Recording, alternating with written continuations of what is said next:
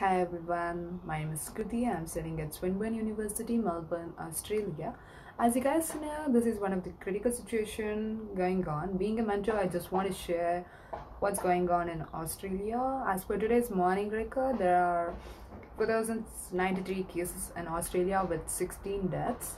And the Prime Minister of Australia declared that no more than two people should gather in the public gatherings and uh, he took all the necessary precautionary measures like uh, he closed all the bars uh, theaters and even the hotels. Only the takeaway is allowed. And he declared one week prior holidays for all the schools which was going on.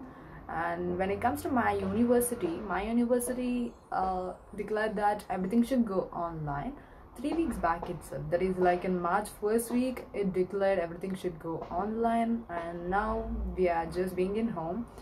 And um, we are attending the online lectures and just submitting the assignments. Uh, being an international student it's not that uh, difficult here because you will be uh, getting proper information regarding your course uh, maybe regarding the virus also. So uh, as I can say that uh, I was just working last week and from this week I'm not going for work. I'm just being quarantined at home and uh, yeah. I think uh, being in home is not that difficult as you guys think. When you have like uh, university stuff like assignments quiz going on everything and even though online courses for the first week it was not pretty good because we are not used to it. But from the second week it's going on really good.